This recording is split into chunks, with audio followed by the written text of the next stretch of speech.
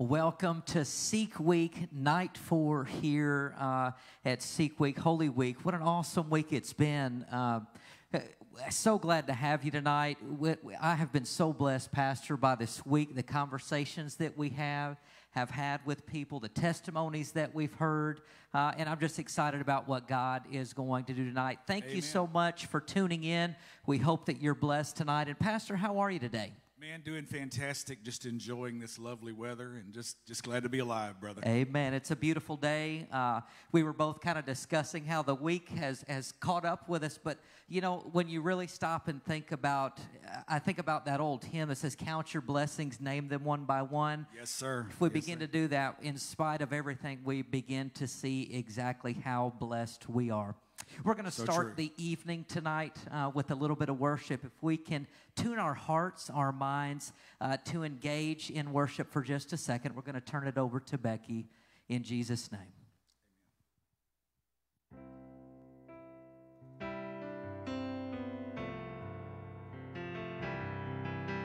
The sun comes up, it's a new day dawning time to sing your song again. Whatever may pass, whatever lies before me. Let me be singing when the evening comes. Bless the Lord, oh my soul.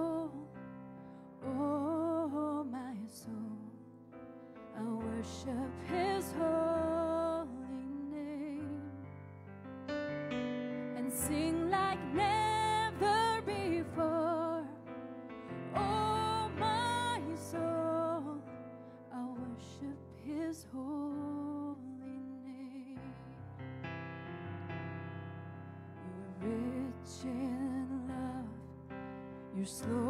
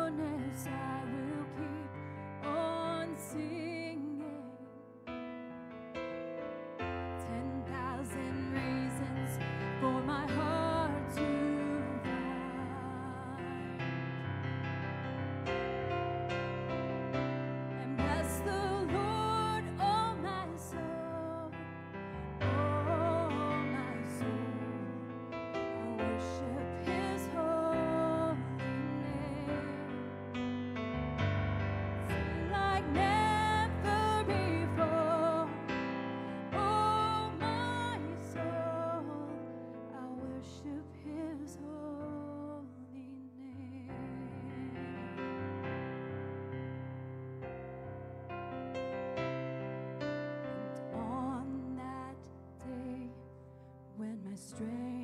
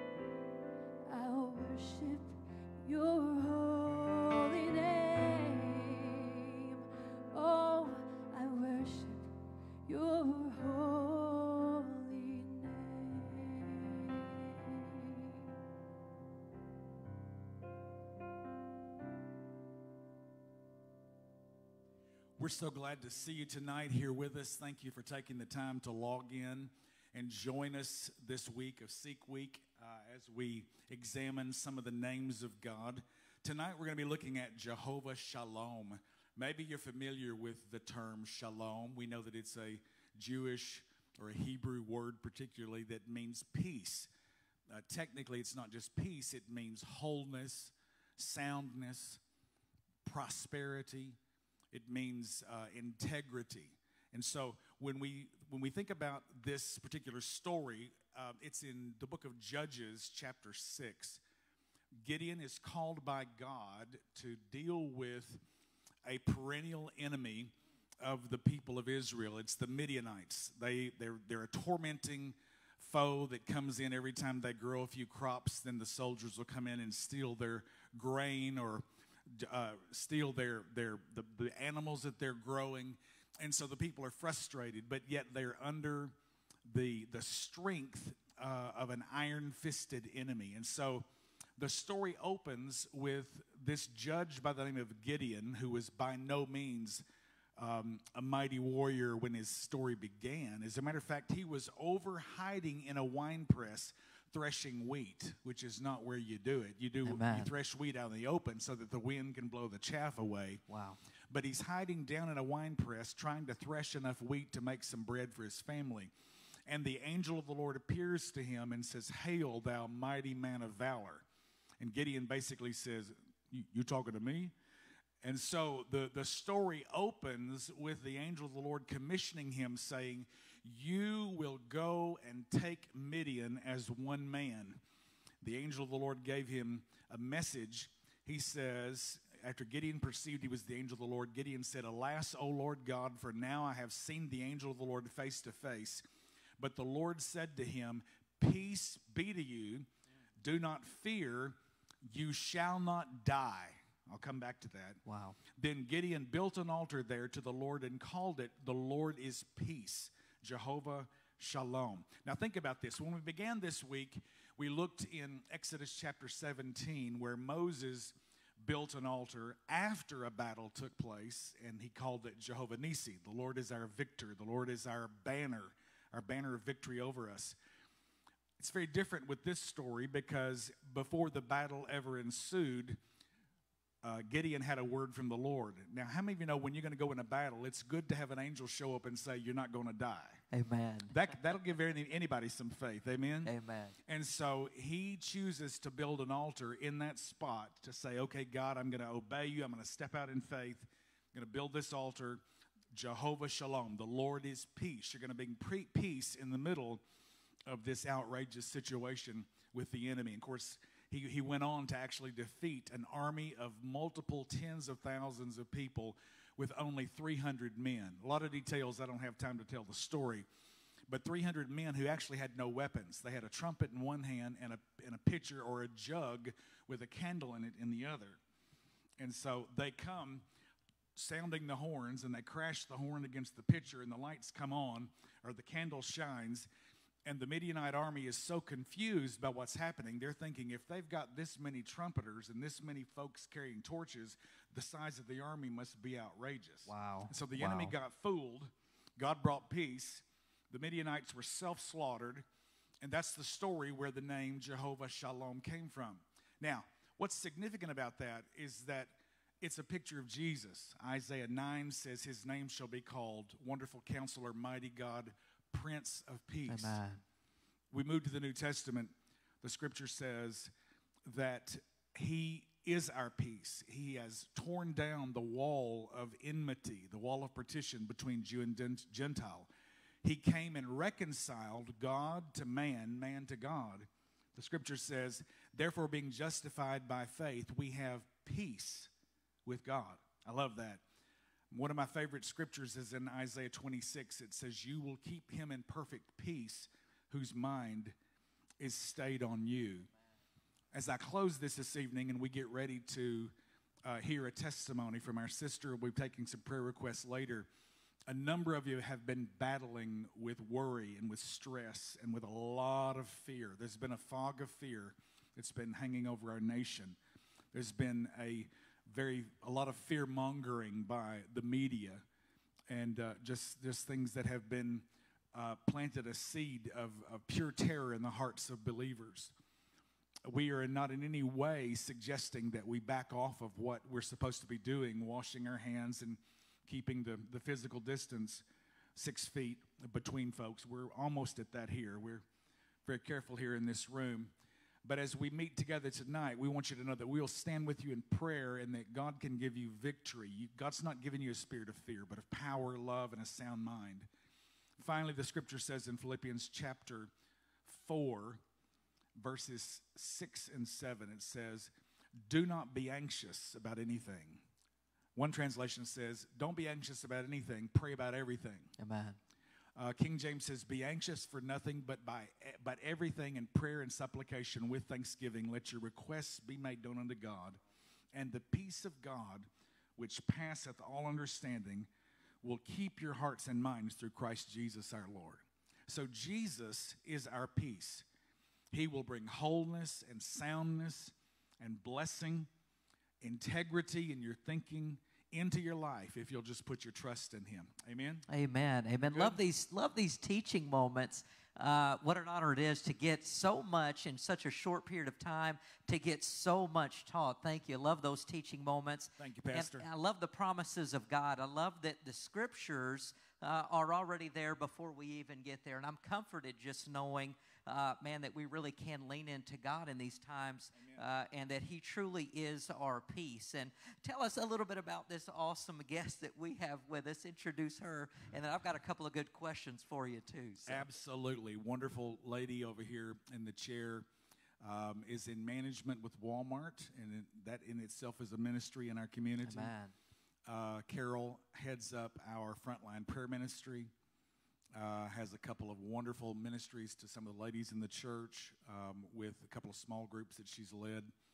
Uh, actually, more than two, but a number of fo- number of groups over the years, and is just a great source of support and encouragement. She's prayed for me, prayed for us as a team Amen. um, has been here. Gosh, I don't want to estimate how many, but I know it's at least been a decade uh, just in walking with us and being on team with us here at Victory. So, Carol, we are thrilled to have you with us today. Amen. Amen. I know that Pastor Michael uh, asked you to share a little bit of your testimony, so I'm just going to open it up. You start with what you feel led to, but it's so good to have you with us tonight. Shalom Aleichem. Shalom. Peace be with peace be with you. And also with you. Well, I, um, Pastor Michael said, I just am excited to be on team here at Victory.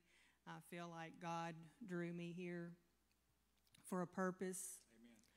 Um, you said I'm in management at Walmart. I am a supervisor. I've been at the West Memphis Walmart for over 26 years.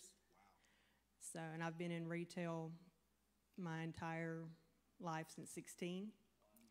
Um, the Frontline Prayer Ministry, where we you can text your prayer request in, and we have a team that prays for for those um, requests. Um, just women's ministry, um, just wherever God would have me go. Amen. You know, you you you have been throughout my time here, uh, which is almost ten years, but you have been so consistent. Uh, tell me a little bit about what drives your faith. I mean, I know your testimony is so strong, but what is it? What is it that? Uh, the, the, what was that changing moment where God really just showed up in your life? Like, wow, like this truly is real. Like this idea that, that we talk about, it's not just an idea, but this walking it out with God is a very real thing. Well, you know, um, like the scripture says, too much is given, much is required. And I know who I was before Christ and what He has brought me from and what He has me pointed to. And just, um, just the testimony about peace. I was so excited. I don't know if you could tell it, Pastor, when you asked me and you said what the topic was going to be, how excited I was. I don't know if you could tell that through the phone. Well, I, I prayed for a couple of days over all of them, and you came to me when I was thinking about peace. So that, that's the reason. Amen.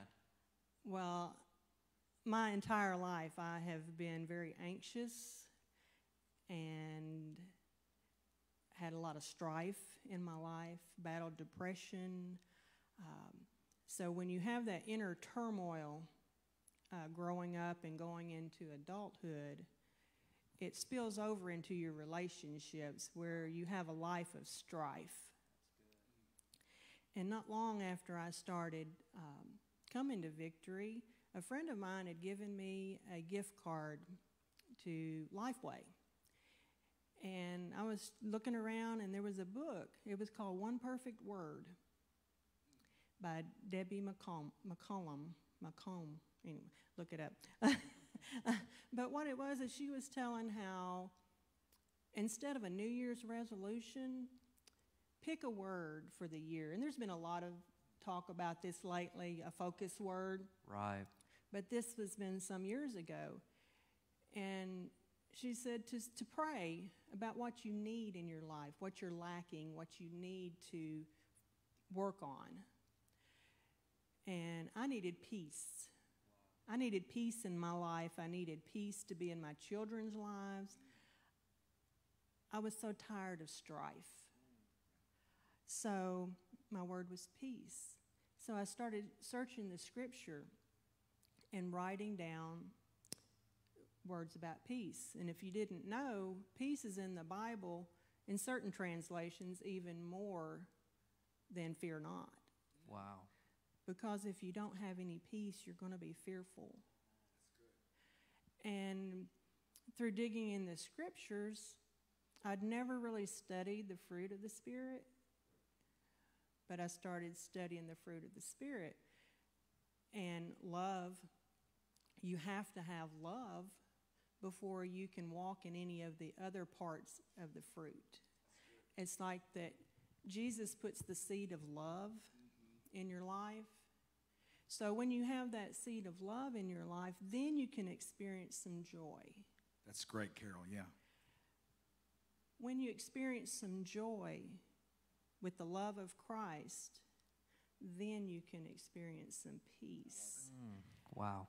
And it carries over through all of the rest of the aspects of the fruit of the Spirit, which we all have, but we have to learn to walk in each one of those things. And once you get a little taste of one of the fruit, you don't want to live without it. Right, right.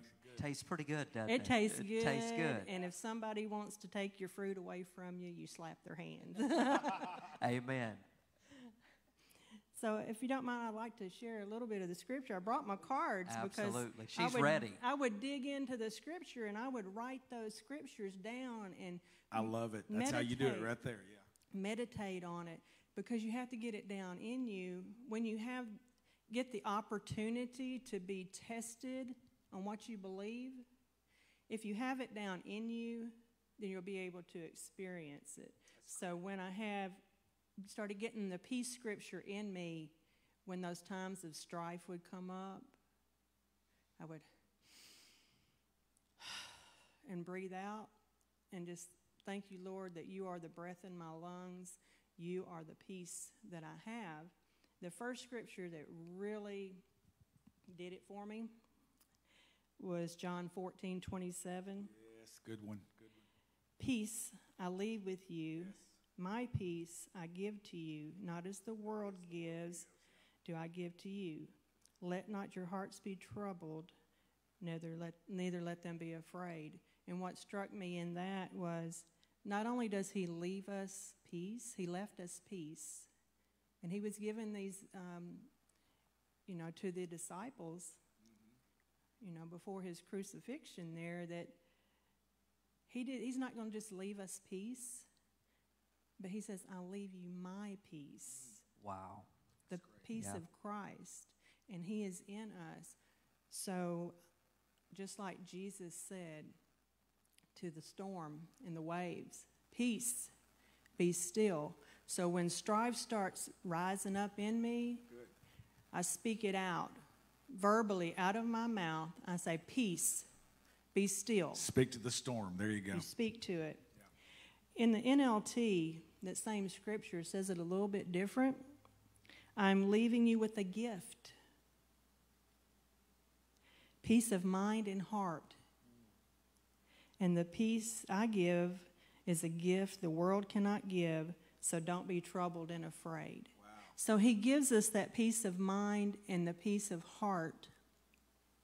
So when I started living out those scriptures, and you know, just these last few weeks, we've all had the opportunity to not have peace, to be afraid. I was always a what if person. You know, I would even think out conversations that never happened. You know, what I would say if somebody else said, if they say this, I'm going to say this. So I was just always tied up in my head. So, but when the peace of God comes in your life, and like I said, you get a little taste of it, you don't have time for the strife. You don't have time for just the unrest and just to, like Paula said last night, to get out of your own way and give it to God and let Him take care of it because He can take care of it better than than you can any day. What's Amen. the what's the relationship in maintaining this peace and your thoughts? You have to take those, just like the scripture says, you have to take those thoughts captive because they will creep back in. Um, you know, we have some of, you know, the way God made us. We, he made us individually, and some of us are thinkers, and we think too much sometimes. so, I'm one of those people, so I get it. I understand. and the more you think and you let those negative thoughts, it's like a weed, get in your brain and it starts growing.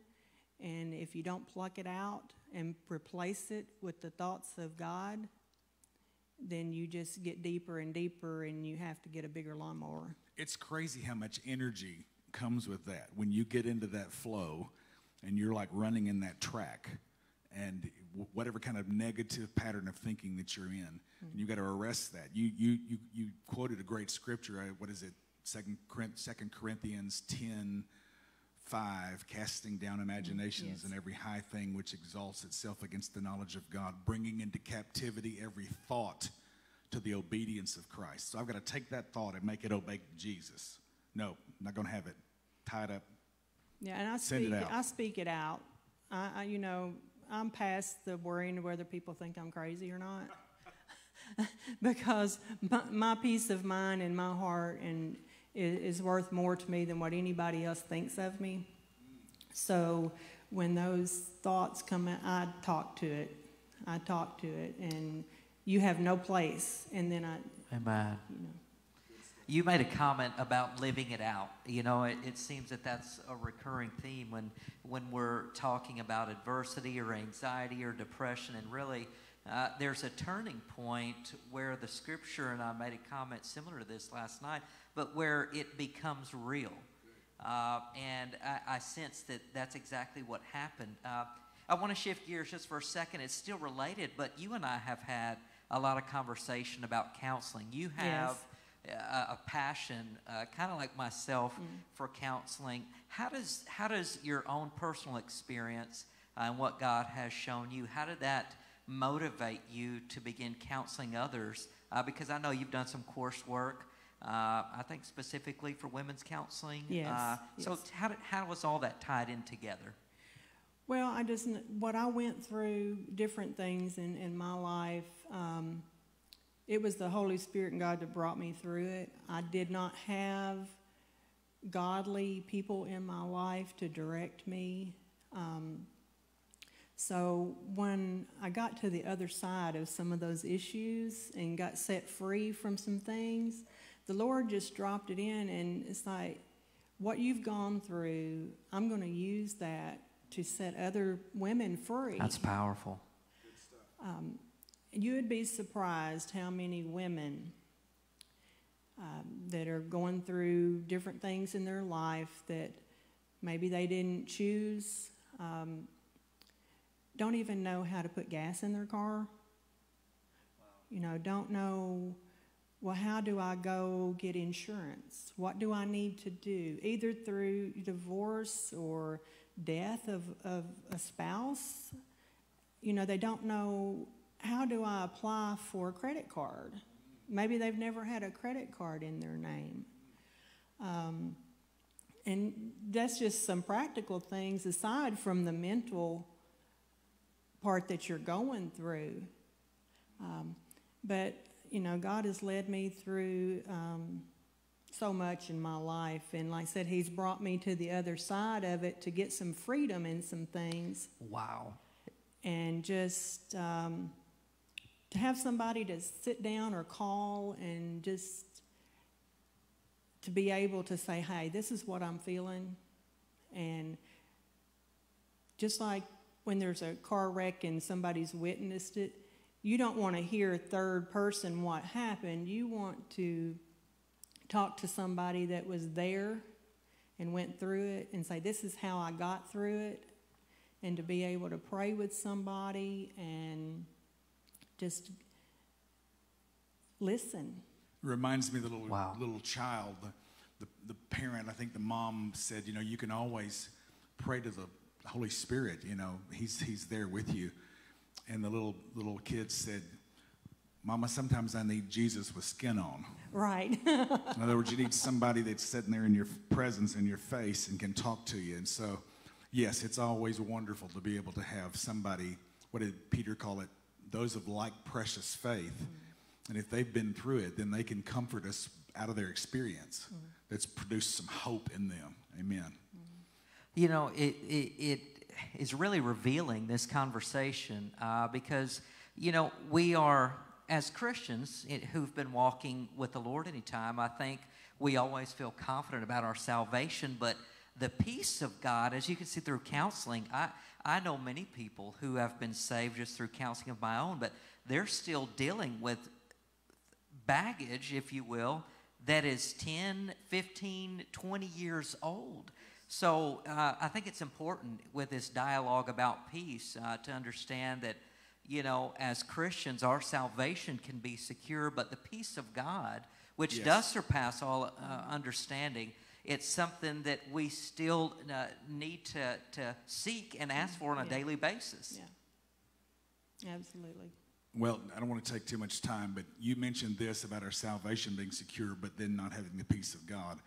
I think there's a distinction between peace with God, which is salvation. We've been reconciled, we've been justified, and the peace of God. Yes. And so, what we're talking about here tonight is the peace of God. That's That's God awesome. giving us that overwhelming sense of it's kind of a spiritual poise. It's a calm in the middle of the storm. The storm may not still, but you can be calm in the middle of it. Yes. Amen. Love that.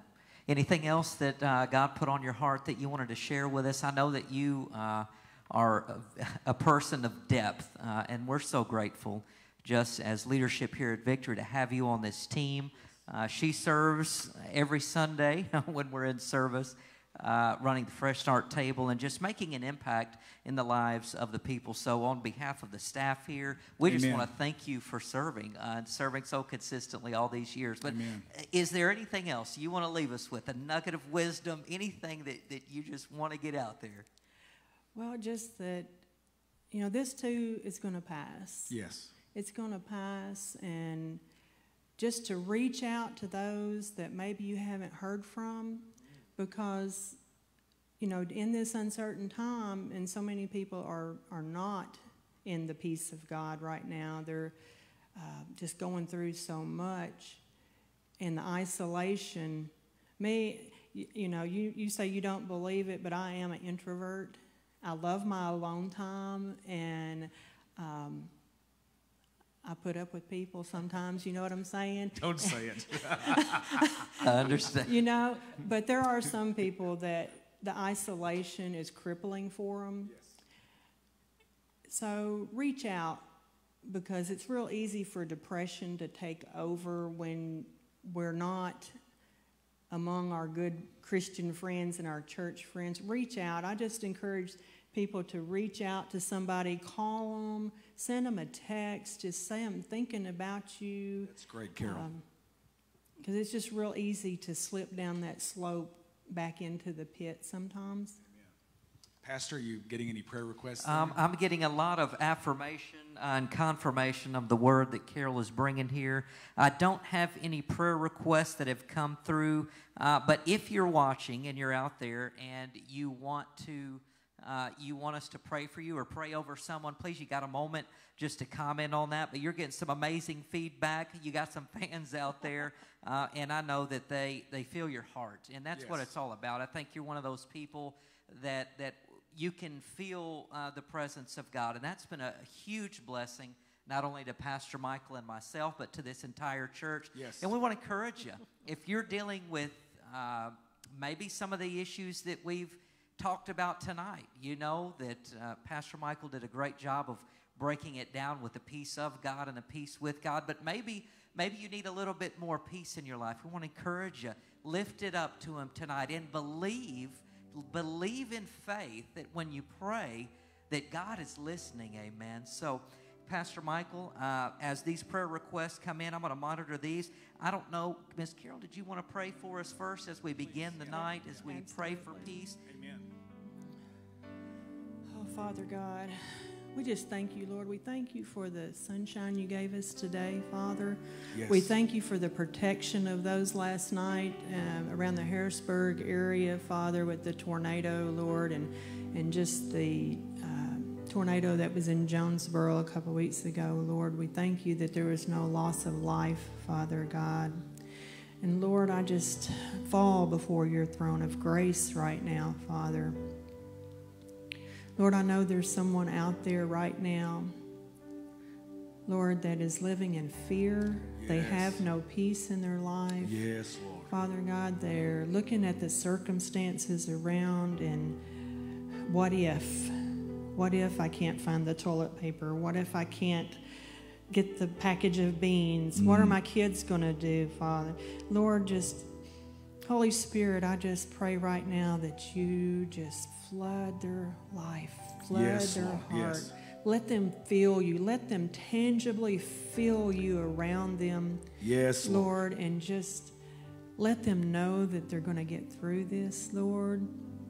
And Father, just for those that have, have, have family members that live far away, Father God, and uh, maybe dealing with a loss of job, Lord, just, uh, um, Lord, maybe they're in a hospital, Lord, maybe a loved one is in the hospital and you don't know if you'll see them again, Father. Lord, just the peace and the comfort that, that you supply, Father God.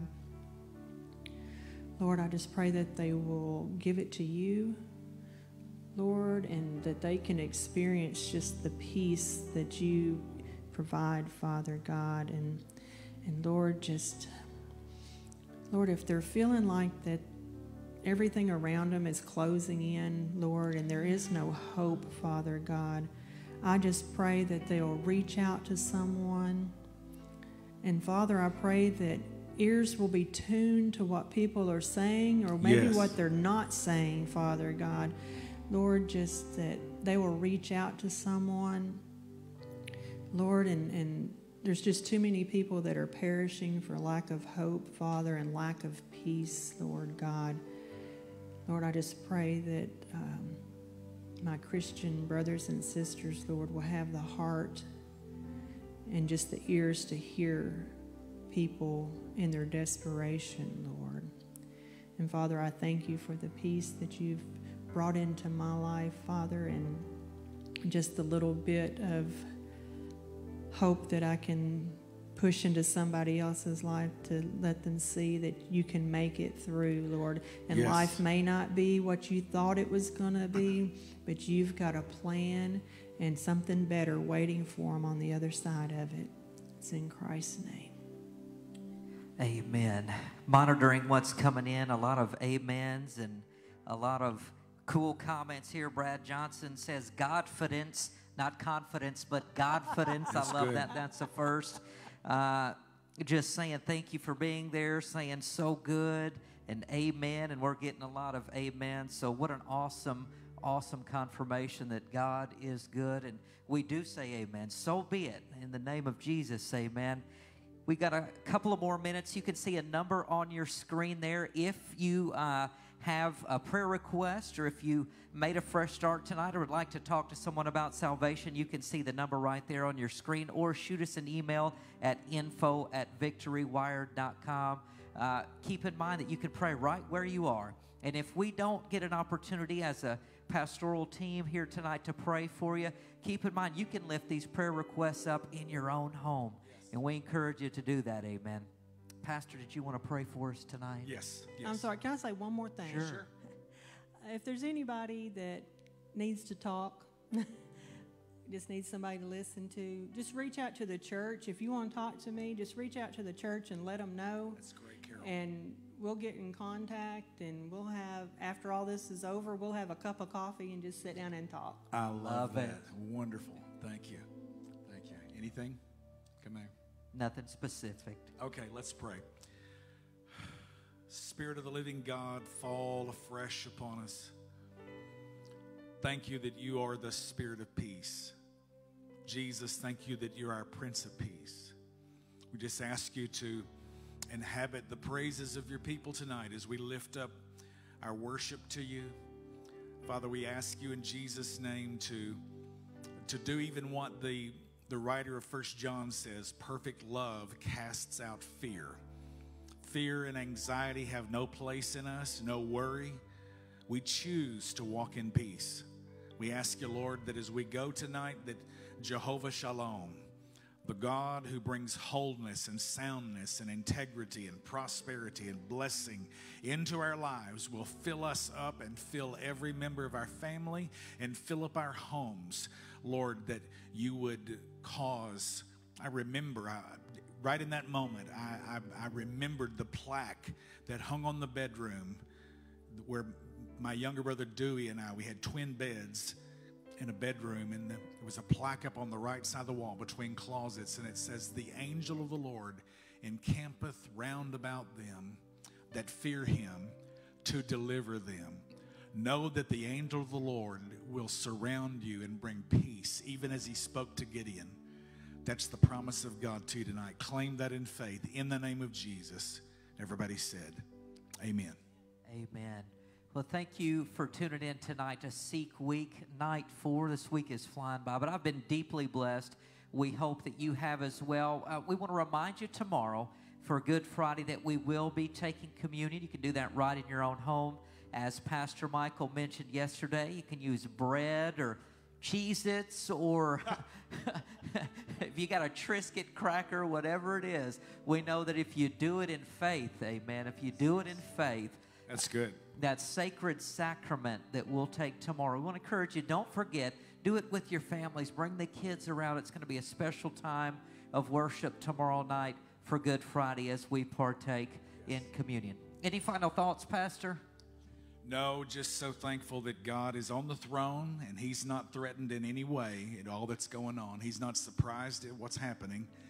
And I promise you, He's going to bring us through it and bless us on the other side of this. Bless us in the middle of it and on the other side of it. I Amen. received that. Amen.